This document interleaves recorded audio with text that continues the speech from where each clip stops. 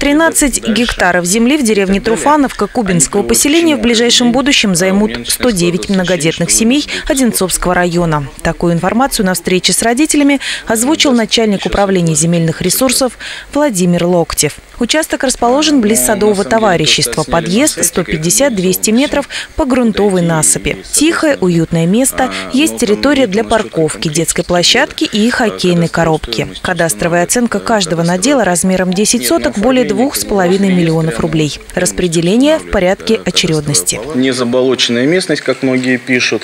Достаточно как бы хороший грунт, Никаких ни ям, ни канав. Ну да, она там со своим уклоном, со своим рельефом, но идеальный участок тоже достаточно сложно найти. От э, ручьев отступлено 5 метров, как положено по закону. Это будут земли общего пользования, по которым можно будет проходить, ну, прогуливаться встречаться с семьями. На встрече с Владимиром Локтевым присутствовали родители, которые за помощью в решении земельного вопроса обращались в общественную палату. Эта тема была на контроле, не раз озвучивалась и поднималась. В итоге маховик запущен. На официальном сайте администрации пока размещена информация о 47 земельных участках в Труфановке.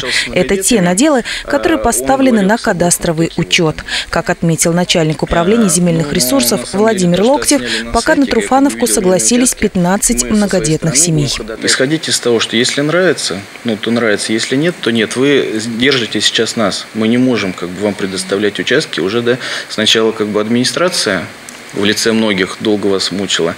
А теперь на сегодняшний момент из того, что происходит каждый день, э, у меня начинает складываться ощущение, что вы нас будете скоро долго мучить, и мы вам не сможем дать уже, как, потому что вы начинаете чуть-чуть метаться.